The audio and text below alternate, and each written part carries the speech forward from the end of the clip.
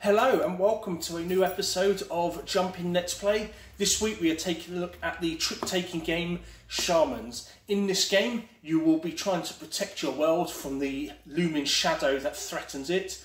Some of the players uh, in this game will actually be uh, Shamans, others will be uh, shadows. So this is also a hidden role game and I do love those. So let's go below. We will take a look at how the game is played and then we'll come back up to discuss our thoughts on the game.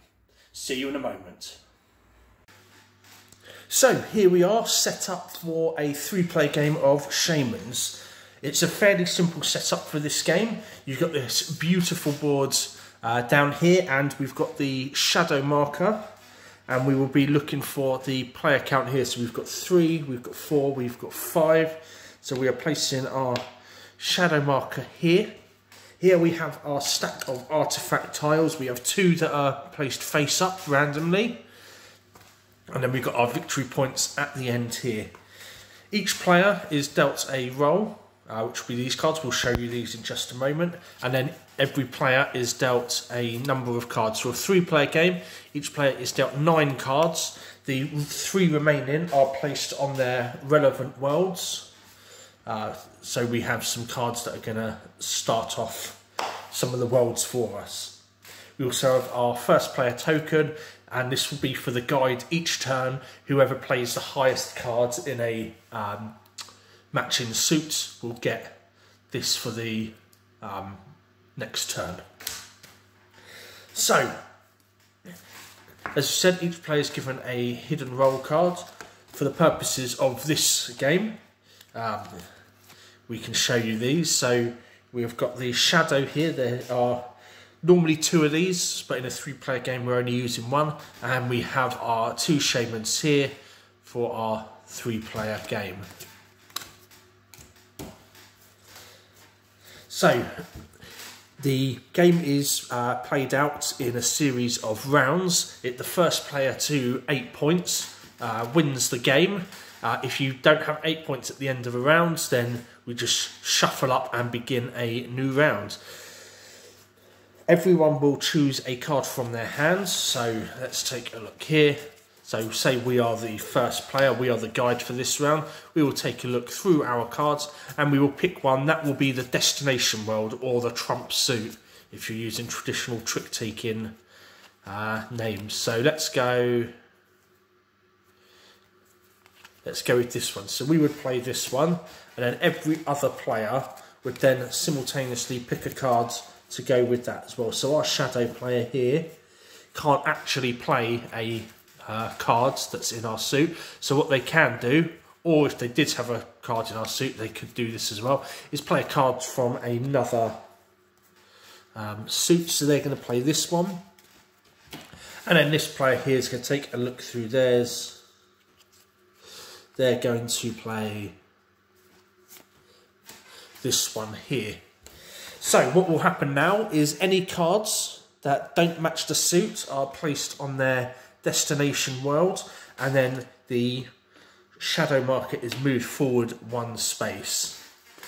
Then we take a look at the cards that are uh, matching and we will take a look at their values. So we've got two here, the four that we placed and the uh, one that this player here had placed. So the lowest cards will be able to take either one of these or the top one off of this. So they're going to go for this one here. So they will take that. Because it's face up, it stays face up in front of them. So they have that there. And then we replace this one here. These are then added to their worlds.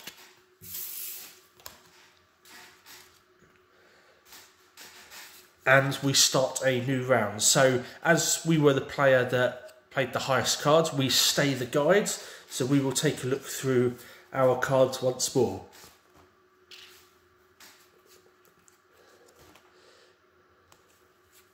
Let's go. He might play a six, for example, and then we'll go around to the other players. They're going to take a look through theirs. Again, they've got nothing that matches here, so they might just get rid of a two there. And then this player to look in here, they're going to get rid of a 5. So again, we will take a look. So our shadow player, obviously we don't know it's the shadow player if we're playing a real game, uh, has a card that doesn't match the suits that is placed here and this moves forward by one. These two cards, well we played the six so we have the highest card, they've got the five, that is the lowest cards, so they will get to take one of these or this one, they will take this one off the top here, we'll just show you what that is. Okay, so this is a uh, card where you have to reveal the uh, role of your um, hidden role cards. So he has to reveal it. So everyone knows that he is a uh, shaman. Obviously for us then, because we know we're a shaman, we can deduce who is the um, shadow from this. But these cards are placed here and then we stay as the first player. So we're now going to take a look through and we're going to play this one then we go to this player here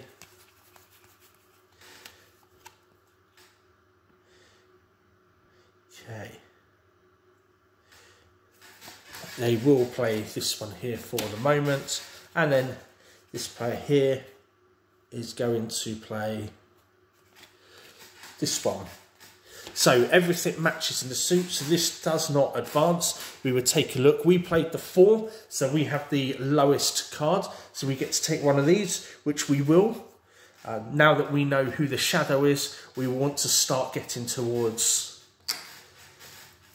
um, this uh, world here. We reveal the next one and then uh, this player here will um, get the, oh sorry, this player here uh, will now put these here and they get the first player marker.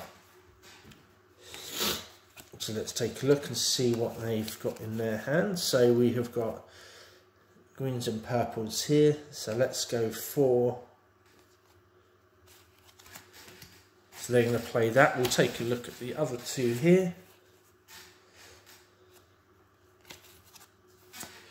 They will play that one. And then we will play this one here. So we take a look, they, everything matches, this doesn't move up. This player played the highest card, we played the lowest, so we get to take one of these. So let's take this one here. And then this player will take these cards,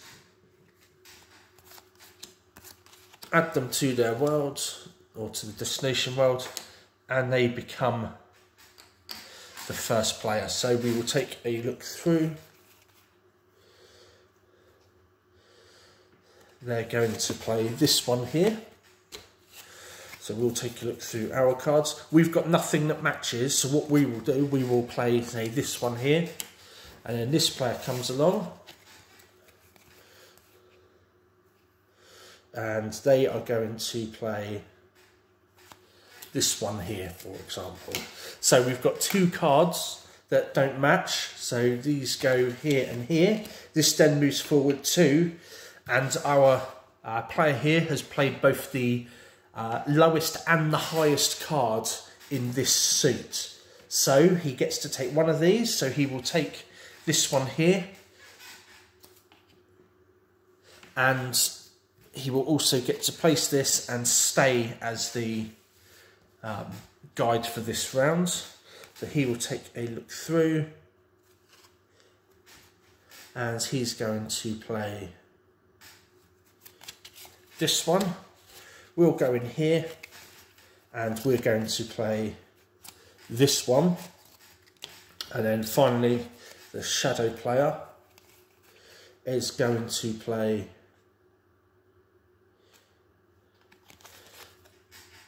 this one here So we take a look again. We've got two cards that don't match the suit. So these are placed here. And this moves forward too. Now we take a look at these completed worlds. These have got all six cards in them. So this player had placed theirs here. You can now perform that world's ritual. So these rituals will be different um, abilities that will be activated when you have all the cards for that uh, world's ritual down here. So for a three player game, it's cards one to six, having all six on this bit. So this player had to place their card. They now get to perform this ritual. However, they don't have one of these, so uh, they can't perform it. However, we have done ours and we get to perform our ritual. So that will uh, be discarded and we will use that to then eliminate another player. Seeing as we know that this is an ally, this is a fellow shaman, we are going to eliminate this player. This player, uh, the shadow, is eliminated from the round and then the round ends. The round has ended because all of the shadows have been exposed, which means that the players who weren't eliminated each get two points. So he's got his two, he's got his two. What will happen now, because we are at the end of the round, is all the cards will be taken back in. So every single card here, like so.